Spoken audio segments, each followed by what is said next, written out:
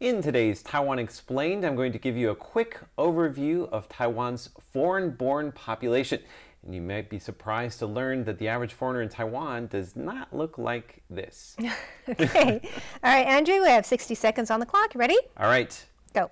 First of all, how many immigrants and foreigners and their descendants live in Taiwan?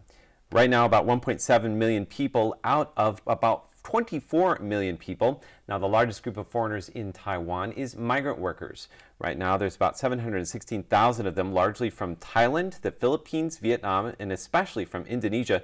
Like these fishermen I met in Keelung, they do jobs that are deemed to be dangerous, dirty, and difficult, like construction, manufacturing, and taking care of the elderly. Now, the migrant worker population is the most marginalized of all foreigners in Taiwan.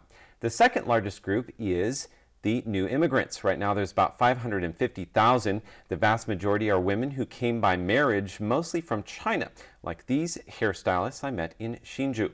And finally, are the new Taiwanese children of immigrants.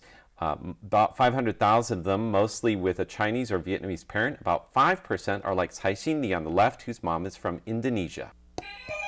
Nice job, Andrew. Thanks, Natalie. I do have one more sentence. Okay. Right now, about 8% of newborn babies in Taiwan have one foreign parent or more. Oh, that's great. All right. So thank you, Andrew. And that is our Taiwan Explained for the week.